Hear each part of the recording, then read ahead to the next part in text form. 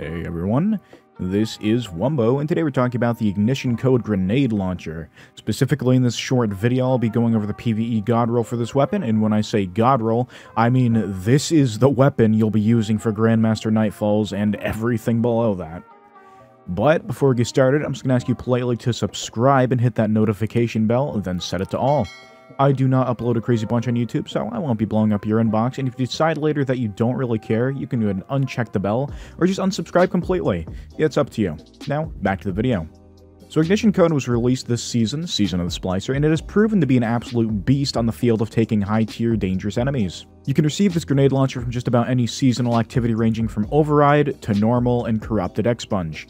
You can also focus Umbrella Engrams with the Prismatic Recaster at the helm in order to obtain this weapon, although note that focusing Umbrella Engrams will take 75 decrypted data in order to do so.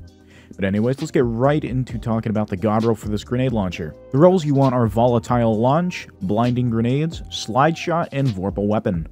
For the weapon mod, make sure you put on a boss spec so you can get more damage off beefy enemies. My masterwork is handling, but you can have it be whatever you prefer.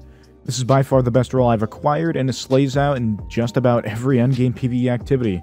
I've used it for Master Nightfalls, and I'm probably never going to use any other grenade launcher when it comes to this.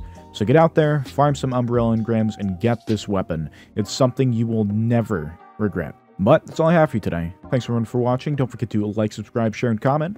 You don't have to do any of those things, but I'm asking you, so please. Alright, thanks once again. I'll see you in the next one. Bye.